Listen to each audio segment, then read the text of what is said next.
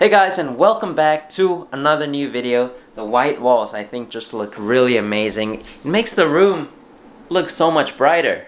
And uh, there's this mess right here so I'm gonna have to clean that up first. Alright, so today we are working on this. Um, this is a small little tank. It's like 15 centimeters by 15 centimeters, so it's a little cube. And let's take a look at this. You can see I still haven't trimmed it, so I'm gonna need to trim that. But yeah, we've got some rocks here. I got this from Aqua Revue. Um, amazing store. Let me clean the table up first. Much better. We have some space to work with. So we've got the rocks there. I'm not so sure what type of rock this is, but I'm heading down to Aqua Revue later so I can show you guys.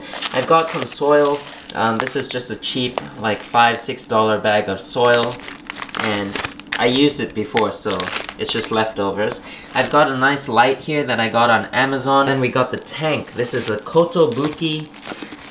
I have no idea how you pronounce that. Leg glass, leg glass, leg Le Glace. I have no idea.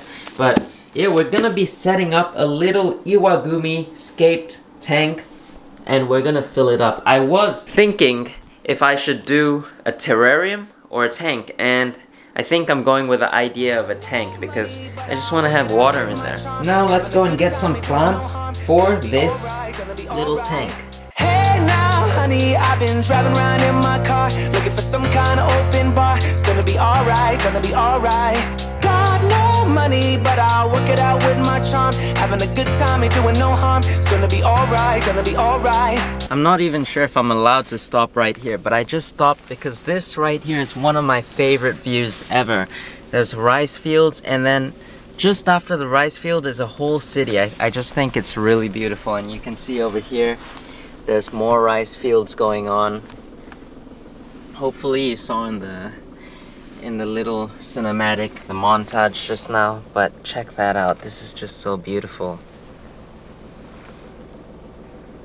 Alright, now here we are at Aqua Revue. Look how beautiful it looks from the outside.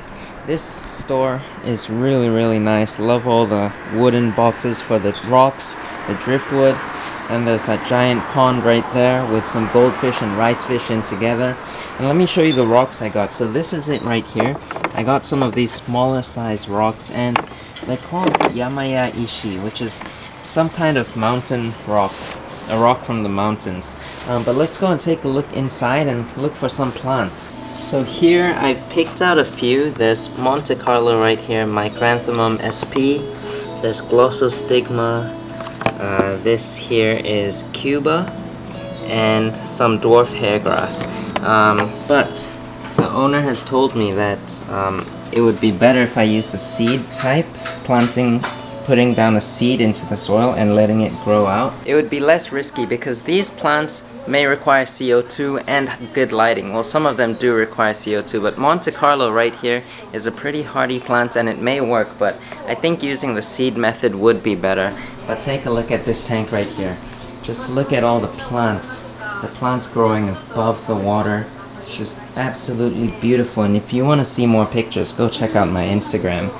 And um, Check out Aqua Revue's Instagram as well. I'll put it down in the description below. But look at the rainbow fish there. Oh my goodness. These guys are so beautiful.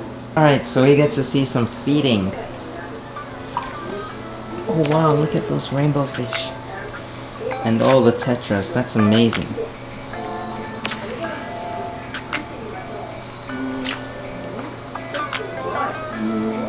Look at all the colors the rummy nose tetras. The colors of their faces, the red colors, super vibrant, really nice.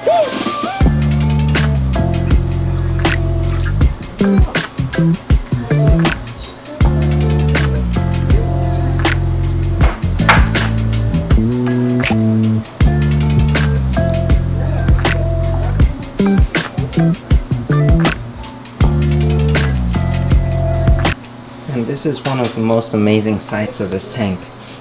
Definitely give this video a thumbs up and uh, I'll, I'll keep trying to get more awesome shots like this but I think that's just really amazing. And the food they're giving is some ADA food in this little glass container thing. It's really cool. You push this and some food will sprinkle out of there. Pretty cool design. So I'm here at the aquarium site, the pet section at the home center.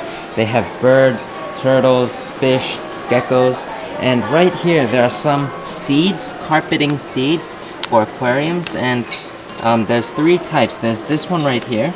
It's just a normal carpet. I'm not so sure what plant though. And then there's this called the Hygro SP Tiger and the Hygro SP Large. And I think this is a smaller size, and this will turn to this right here. Isn't this pretty cool? This is just using the carpeting seeds that I just showed you, and it's a nice Iwagumi style with all the rocks. I think it looks beautiful. And then there's scuba divers as well. And right here they have some Tropica 1-2 grow plants. You can see not a huge selection, but I think it's still pretty nice that they have it. And then they have the seeds here as well, so that's pretty cool. Let's get some of those. I've made it back with the seeds. We've got the tank right here. The soil, the light, the rocks. I've rinsed out the rocks. You can see I've got five pieces of rock right there. So let's go ahead, open this up, and then pour some soil in because that's the first step. So I've got the layout of how I want this thing to look. I'm really liking the three rocks right there. There's actually four. There's a fourth rock underneath this large one, um, just to hold it in place. This is nice because you'll be able to see it from every angle. So now the steps for these seeds say to wet the soil. I think that's enough. Oh wow, so it comes in small little packets like this. How many are there inside? There's two more, so there's three of these little packets. I'll show you what this looks like. I'll pour some out. Fine little, it looks like fish food actually, but we're gonna sprinkle this around inside this tank. Alright, and check that out. Look at all the seeds that I planted. That I plant? Do you plant seeds? Um, I think you plant seeds, right? But yeah, check that out. And um, you can see I missed a few spots. Some got on the rock. That's okay. Next step is to mist it down with a spray and then we leave it. Let it sit for 7 to 14 days and then it should come up. But for you guys, you don't have to wait that long. I'll be right back. Alright, it's actually been around 4 months. It's been quite a long while. A lot of things have changed in this room since since the beginning of this video. Um, yeah, I've set the tank up. In the start of this video, this tank wasn't even set up. Uh, but yeah, now you can see there's fish swimming inside. Look at all the ember tetras looking good. Plants are looking good. Still haven't got the lily pipes yet. I really need one because there's not much movement in the upper section of this tank. You can kind of see. Um, so yeah, I'm really happy with this tank though. Everything's doing well. Uh, I need to give fertilizers today, I haven't done that yet. So back on with this tank, I just took the cover off, so yeah, the cover's right here. But you can see it's been growing like crazy. Uh, it's a nice Iwagumi setup. Now I might have to trim this. I'm not sure how that will work though. This tank has not been doing well, the little terrarium. There was one point of time where the lights just turned off and the plants didn't do so well. The hydrocotyl in the front and the S. repens that were in the back, they didn't make it, but the hairgrass and the moss, the Christmas moss, has been doing excellent. And then this new little setup, this is my mini Anubias farm with some moss in there. I think there's peacock moss in there, but this is Anubias nana petite. And the substrate for this is just anthracite.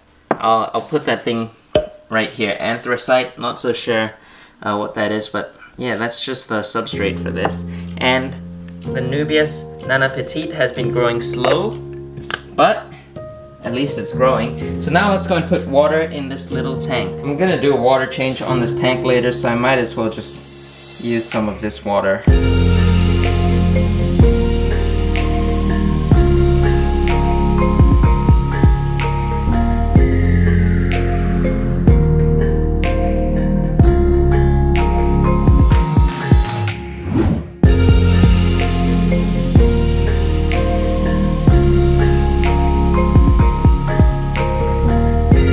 You guys think about that? I think it looks really nice. Yeah, the plants are purling already. Is that purling? Yeah, they're giving off oxygen. It's kind of cool. We could actually have fish in here. I've seen like no filter setups, but I'm not really confident yet. Um, and I don't want to risk anything, you, you know what I mean? I think it's nice the way it is, so I'll just leave it like this. Be sure to give this video a thumbs up, subscribe if you're new to this channel by hitting that red subscribe button down below so that you don't miss stuff like this. Look at that tank right there, looking beautiful, so many more things to come. I'll see you next time.